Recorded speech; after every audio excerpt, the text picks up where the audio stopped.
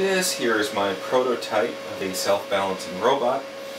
The design came from the Parallax propeller book here, and it was based on the Dancebot by Hanno Sander. This is my attempt to build one using uh, parts here. And it's kind of a work in progress, but we'll turn it on and see what it does. There you can see it's uh, starting to balance itself. And it's got self-balanced. Uh, I think I may have to do a little bit of tuning because it still has a lot of corrections it needs to do to keep itself level. And it can kind of run away a little bit. It isn't balanced quite right yet. Maybe it just needs a little bit more tuning to set it uh, so it knows that it's level. I'm not sure.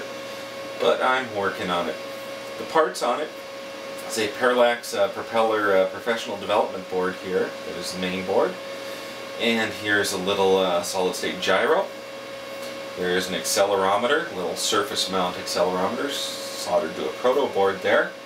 A couple of H bridges for the, uh, the two motors. Main battery, the uh, microcontroller, the 8 core propellers there and back. And uh, that's pretty much it. Turn it off, it will fall over and die.